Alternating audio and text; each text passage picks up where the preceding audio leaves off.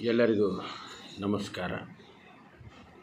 ಸಮಸ್ತ ಕನ್ನಡ ನಾಡಿನ ಈ ಹಿಂದೂಸ್ತಾನದ ಎಲ್ಲ ಬಸವಾಭಿಮಾನಿಗಳಿಗೆ ಬಸವ ಜಯಂತಿಯ ಶುಭಾಶಯಗಳು.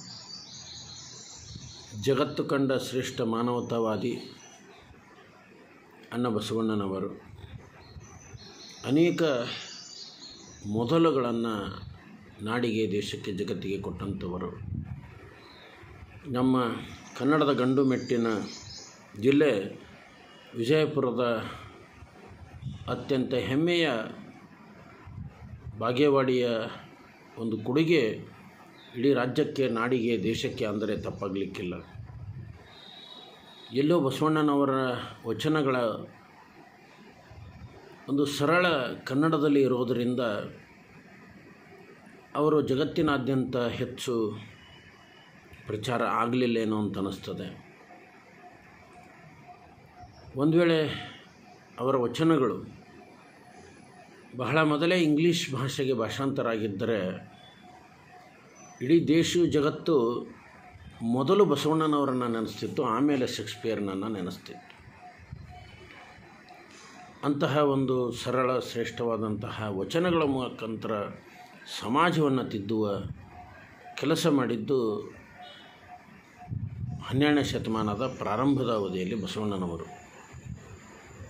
ಬಸವಣ್ಣನವರ ಕುರಿತು ಒಂದೆರಡು ಐತಿಹಾಸಿಕ ಸತ್ಯಗಳನ್ನು ನಿಮ್ಮ ಮುಂದೆ ಚರ್ಚಿಸಿ, ಅವರ ಕುರಿತು ನಾನು ರಚಿಸಿದ ಬಸವಣ್ಣನವರು ಎಂದರೆ ಏನು ಅನ್ನೋದನ್ನು ಕುರಿತು ಒಂದು ಕವನವನ್ನು ವಾಚಿಸ್ತೇನೆ. ಬಸವಣ್ಣನವರ ಕುರಿತು ನನಗೆ ಇರುವಂಥ ಒಬ್ಬ ಇತಿಹಾಸದ ಪ್ರಾಧ್ಯಾಪಕ ಅನ್ನೋದಕ್ಕಿಂತ ಒಬ್ಬ ಇತಿಹಾಸದ ವಿದ್ಯಾರ್ಥಿಯಾಗಿ ನನ್ನಲ್ಲಿರುವಂಥ ಜಿಜ್ಞಾಸೆ, ಪ್ರಶ್ನೆ, ಸಂಶೋಧನಾತ್ಮಕ ಅಂಶಗಳಂತಂದರೆ, ನಾವು ಬಸವಣ್ಣನವರ ಜನ್ಮಸ್ಥಾನದ ಬಗ್ಗೆ ತಲೆ ಕೆಡಿಸ್ಕೊಂಡಷ್ಟು, ಚಿಂತಕರು, ಬರಹಗಾರ ಬರೆದಷ್ಟು, ಬಸವಣ್ಣನವರ ವಚನಗಳನ್ನು ವಿಶ್ಲೇಷಣೆ ಮಾಡುವಲ್ಲಿ ಅಷ್ಟು ಒತ್ತನ್ನು ಕೊಟ್ಟಿಲ್ಲ ಅಂತ ನನಗನ್ನಿಸ್ತದೆ. ಬಸವಣ್ಣನವರು ಇಂಗ್ಲೇಶ್ವರದಲ್ಲೇ ಜನಿಸಲಿ ಅಗಿವಡೆಯಲ್ಲೇ ಜನಿಸಲಿ, ಯಾರು ಯಾವ ಊರಿನಲ್ಲಿ ಜನಿಸಿದರು ಅನ್ನೋದಕ್ಕಿಂತ ಅವರ ಕೊಡುಗೆ ಏನು ಅಂತ ಅನ್ನೋದನ್ನು ನಾವು ಗಮನಿಸಬೇಕು. ಆದರೆ ಒಂದು ಅವರ ಜನ್ಮಸ್ಥಾನದ ಬಗ್ಗೆ ಇರುವಂತಹ ಭಿನ್ನಾಭಿಪ್ರಾಯ ಬಾಗೇವಾಡಿ ಮತ್ತು ಇಂಗ್ಲೇಶ್ವರದ ಮಧ್ಯೆ. ಬಸವಣ್ಣನವರ ತಾಯಿ ತವರೂರು ಇಂಗ್ಲೇಶ್ವರ ಆಗಿತ್ತು, ಹೀಗಾಗಿ ಸಹಜವಾಗಿ ಜನನ ತಾಯಿಯ ತವರೂರಿನಲ್ಲಿ ಆಗ್ತದೆ. ಹೀಗಾಗಿ ಇಂಗ್ಲೇಶ್ವರದಲ್ಲಿ ಬಸವಣ್ಣವರು ಜನಿಸಿದರು ಅಂತ ಇಂಗ್ಲೇಶ್ವರದವರು ವಾದಿಸಿದರೆ ಬಸವಣ್ಣನವರು ಬಾಗೇವಾಡಿಯಲ್ಲಿ ಜನಿಸಿದರು ಅನ್ನೋದನ್ನು ಬಾಗೇವಾಡಿಯವರು. ಅವರೆಲ್ಲೇ ಇದ್ದರೂ ಭಾರತೀಯರು, ಕನ್ನಡಿಗರು, ವಿಜಯಪುರ ಜಿಲ್ಲೆಯವರು ಅಂತ ಅನ್ನೋದನ್ನು ನಾವು ಗಮನಿಸಬೇಕು. ಅವರ ಜನ್ಮ ಇಂಗ್ಲೇಶ್ವರದಲ್ಲಿ ಆಗಿತ್ತು ಅನ್ನೋರಿಗೆ ಒಂದು ನನ್ನ ಪ್ರಶ್ನೆ. ಬಸವಣ್ಣನವರು ಅವರ ತಂದೆ ಮಾದರಸ ಮತ್ತು ಮಾದಲಾಂಬಿಕೆಯರ ಹಿರಿಮಗ ಅಲ್ಲ. ಅಕ್ಕ ನಾಗಮ್ಮ ಈಗಾಗಲೇ ಅವರ ಸಹೋದರಿ ಇದ್ಲು. ಮೊದಲನೇ ಒಂದು ಜನನ, ತಾಯಿಯ ಮೊದಲ ಜನನ ಏನದ, ಮಗುವಿಗೆ ಜನ್ಮ ಕೊಡುವಂಥದ್ದು, ಅದು ತಾಯಿ ತವರ ಮನೆಯಲ್ಲಾದರೆ ಸಾಮಾನ್ಯವಾಗಿ ಎರಡನೇದು, ಮೂರನೇದು ಗಂಡನ ಮನೆಯಲ್ಲಿ ಆಗುವಂತಹ ಒಂದು ಬಂದಂಥ ರೂಢಿ.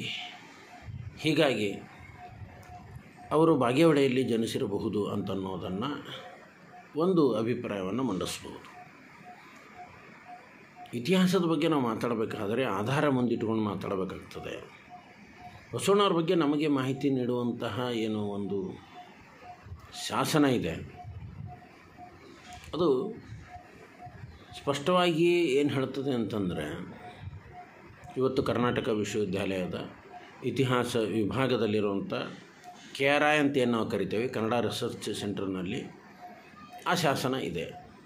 ಅದನ್ನು ಅಲ್ಲಿ ಸಂಗ್ರಹಿಸಿ ಇಡಲಾಗಿದ್ದದು ಆ ಶಾಸನ ಸ್ಪಷ್ಟವಾಗಿ ಹೇಳ್ತದೆ, ತರ್ದವಾಡಿ ಮಧ್ಯ ಗ್ರಾಮದೊಳ್ ಬಾಗವಾಡಿ ತರ್ದವಾಡಿ ಎಂಬ ಪ್ರದೇಶದಲ್ಲಿ ಮಧ್ಯ ಗ್ರಾಮ ಬಾಗವಾಡಿ ಅಂತ ಕರೀತದದು. ಅದು ಬಾಗವಾಡಿ ಪ್ರದೇಶದಲ್ಲಿ.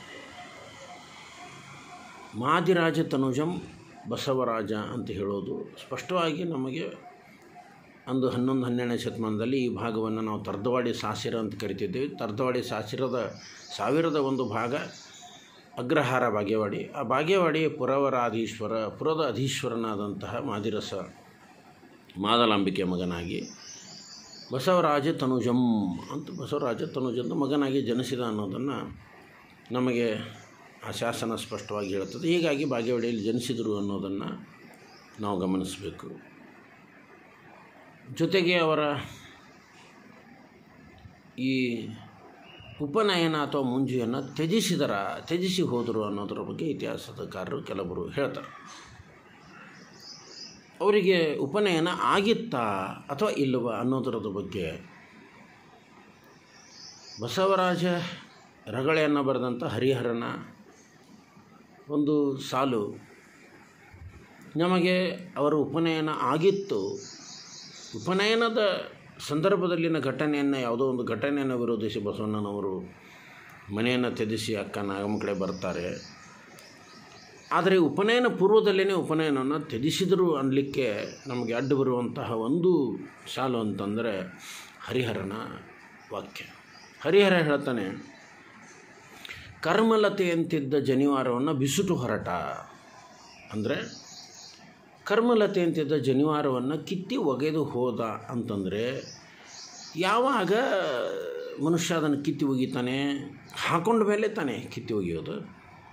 ಹೀಗಾಗಿ ಭಾಳ ಸಣ್ಣ ವಯಸ್ಸಿನಲ್ಲಿ ಬಸವಣ್ಣವರು ಸುಮಾರು ಏಳೆಂಟು ವರ್ಷದಲ್ಲಿ ಅವರಿಗೆ ಉಪನಯನ ಕಾರ್ಯಕ್ರಮ ಆಗಿತ್ತು. ಬ್ರಾಹ್ಮಣ ಧರ್ಮದಂತೆ ಸಹಜವಾಗಿ ಅದು ಉಪನಯನ ಕಾರ್ಯಕ್ರಮ.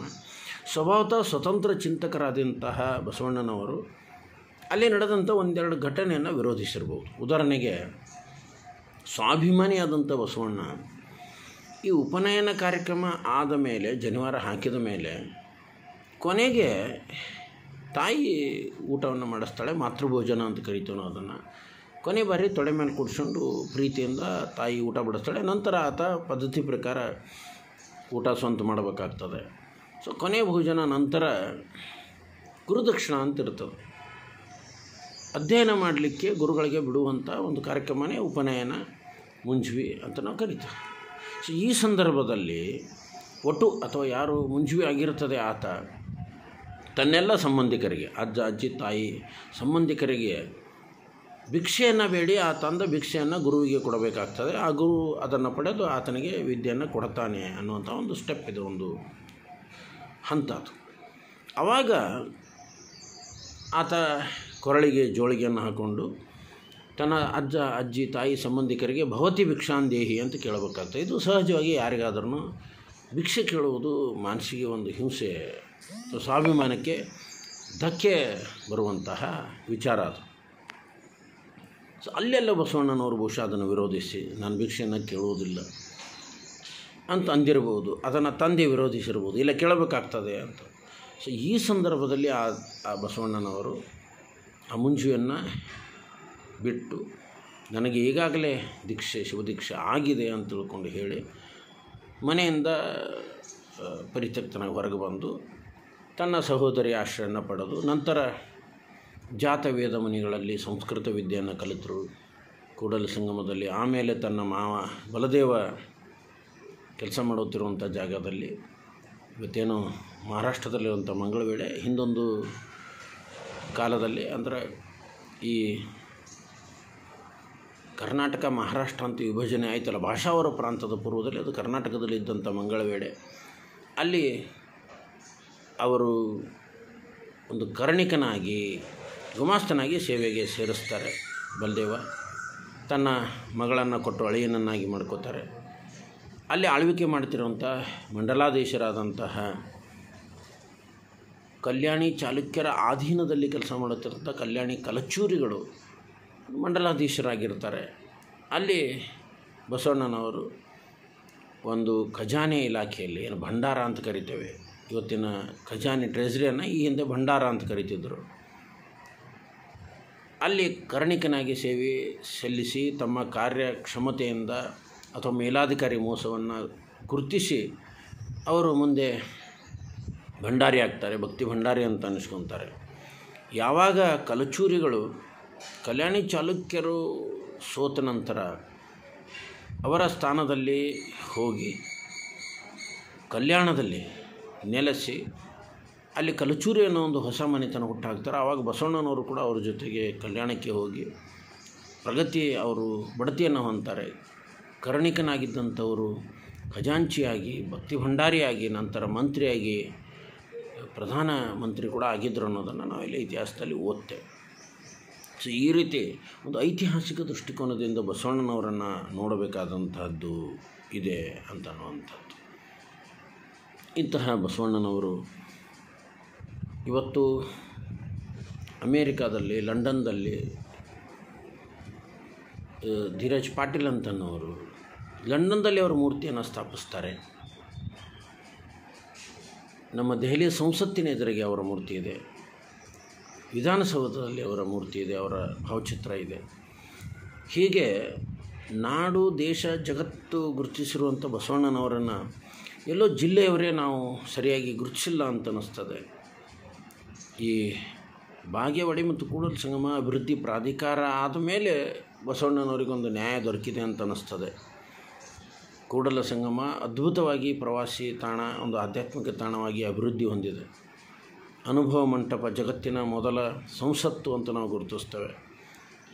ನಾವೆಲ್ಲ ಡೆಮೋಕ್ರಸಿ ಅಂತ ಅಂದ್ಕೊಳ್ಳೆ ಅಮೇರಿಕಾದ ಡೆಮೋಕ್ರಸಿಯನ್ನು ಹೇಳ್ತೇವೆ ಏನು?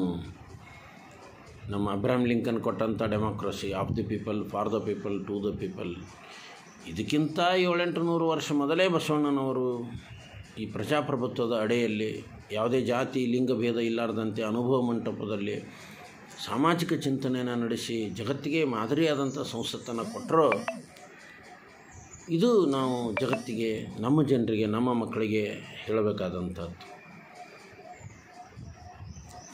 ಆದರೆ ನಮ್ಮ ಜಿಲ್ಲೆ ವಿಜಯಪುರದವ್ರು ನಾವು ಬಸವಣ್ಣನವರನ್ನು ನಮ್ಮ ಜಿಲ್ಲೆಯವರು ಅಂತ ಹೇಳ್ತೇವೆ. ಈಗ ಬಸವಣ್ಣನವರಿಗೆ ನಾವು ಒಂದು ಗೌರವನ ಸೂಚಿಸಬೇಕು, ಜಗತ್ತಿನ ಮಟ್ಟದಲ್ಲಿ ಅವರನ್ನು ಗುರುತಿಸಬೇಕು ಅಂತಂದರೆ ನಮ್ಮ ವಿಜಯಪುರದಲ್ಲಿರುವಂತಹ ಈ ರೈಲು ನಿಲ್ದಾಣಕ್ಕೆ, ಅದು ಸೆಂಟ್ರಲ್ ಗೌರ್ಮೆಂಟ್ನಲ್ಲಿ ಬರುವಂಥ ಒಂದು ಸಾರಿಗೆ ವ್ಯವಸ್ಥೆ. ಈ ರೈಲು ನಿಲ್ದಾಣಕ್ಕೆ ಜಗಜ್ಯೋತಿ ಬಸವೇಶ್ವರ ರೈಲು ನಿಲ್ದಾಣ ಅಂತ ನಾವು ಇಟ್ಟರೆ ನಮ್ಮನ್ನು ನಾವು ಗೌರವಿಸಿಕೊಂಡಂತೆ ಮತ್ತು ಜಿಲ್ಲೆಯನ್ನು ರಾಜ್ಯ ಜಗತ್ತಿನ ಮಟ್ಟಕ್ಕೆ ಗುರುತಿಸಿದಂತಾಗ್ತದೆ ಮತ್ತು ಬಸವಣ್ಣವರಿಗೆ ಗೌರವ ನೀಡದಂತಾಗ್ತದೆ ಅಂತ ನಾನು ಹೇಳ್ತಾ ಖಂಡಿತವಾಗಿ ಜಿಲ್ಲೆ ಜನತೆ, ನಾನು ಈಗಾಗಲೇ ಜನಾಭಿಪ್ರಾಯ ಸಂಗ್ರಹಿಸಲು ಈ ಮಾಹಿತಿಯನ್ನು ಬಿಟ್ಟಾಗ ತೊಂಬತ್ತೊಂಬತ್ತರಷ್ಟು ಜನ ರೈಲು ನಿಲ್ದಾಣಕ್ಕೆ ಜಗಜ್ಯೋತಿ ಬಸವೇಶ್ವರವರ ಹೆಸರು ಸೂಕ್ತ ಅಂತ ಗುರುತಿಸಿದ್ದಕ್ಕೆ ನಾನು ಅವರೆಲ್ಲರಿಗೂ ಧನ್ಯವಾದನ ಹೇಳ್ತಾ, ಬಸವಣ್ಣನವರ ಕುರಿತು ನಾನು ರಚಿಸಿದಂಥ ಬಸವಣ್ಣನೆಂದರೆ ಅನ್ನೋ ಕವನವನ್ನು ಹೇಳ್ತಾ ನಾನು ಮಾತು ಮುಗಿಸ್ತೇನೆ. ಎಲ್ಲರಿಗೂ ಧನ್ಯವಾದ. ನನ್ನ ಕವನದ ಶೀರ್ಷಿಕೆ ಬಸವಣ್ಣನವರೆಂದರೆ. ಬಸವಣ್ಣನವರೆಂದರೆ ಆಲಸ್ಯವಲ್ಲ. ಬಸವಣ್ಣನವರೆಂದರೆ ಸೋಮಾರಿತನ ಅಲ್ಲ. ಬಸವಣ್ಣನವರೆಂದರೆ ಸದಾ ಕ್ರಿಯಾಶೀಲರಾಗಿ ಕಾಯಕ ನಿಷ್ಠೆಯಲ್ಲಿ ಇರುವುದು. ಬಸವಣ್ಣನವರೆಂದರೆ ಅಂಧಶ್ರದ್ಧೆ ಅಲ್ಲ. ಬಸವಣ್ಣನವರೆಂದರೆ ಮೂಢನಂಬಿಕೆ ಅಲ್ಲ.